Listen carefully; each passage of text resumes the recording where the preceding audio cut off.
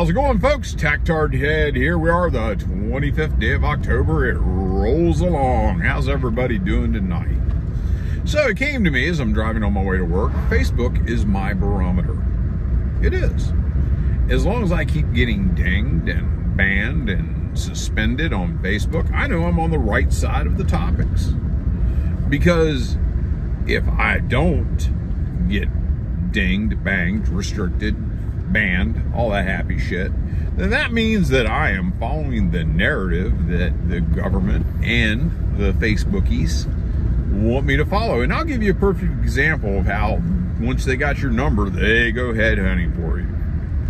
So one of the uh, groups that I'm a member of is an airsoft group that where you do a tactical sports game where you have simulated plastic uh, weapons that are plastic and metal BB guns that shoot plastic BBs at each other. And it's kind of in the same vein as paintball, except the weapons look real. And also use it as a training. Well, I happen to be in an airsoft group uh, where they were talking about a recently a big game that they had had. And there was a problem with target identification. People couldn't tell whose side people were on for various reasons, uniform standards, all this happiness were not enforced. And uh, I made a comment. Now, this is in an action sports group where you shoot at each other with BB guns. My reply was shoot everything. If you can't tell who anybody is, shoot everything. I got dinged for 24 hours for inciting violence. Now, this is on an action sports page not different than paintball.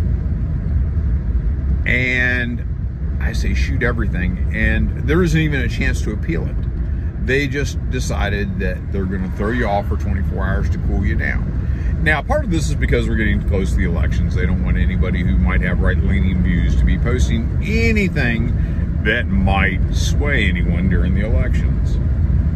But it's just amazing to me, folks, amazing to me in a country that prizes freedom of speech that these individuals are allowed to uh, control your freedom of speech and not arbitrarily shut you up without even having a hearing about it. Oh, no, no. If you want to argue it, uh, chances are they're still going to say you're wrong, although I have won a couple of appeals.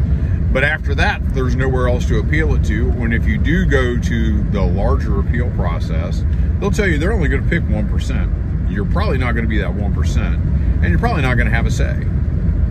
Well, I can tell you that because I've seen a, I've seen an account banned because they never got back to me about it. And uh, is what it is, folks. Is what it is. But just a little thought. As long as Facebook is telling me I'm wrong, I know I'm right. So look at it like this. Wear your Facebook jail time as a badge of honor. Um, that you have uh, spoken out. You said something in the defense of free speech that they did not like. And they want to shut you up. So, hey, congratulations. Inmate 999, whatever you want to call yourself. Y'all take care.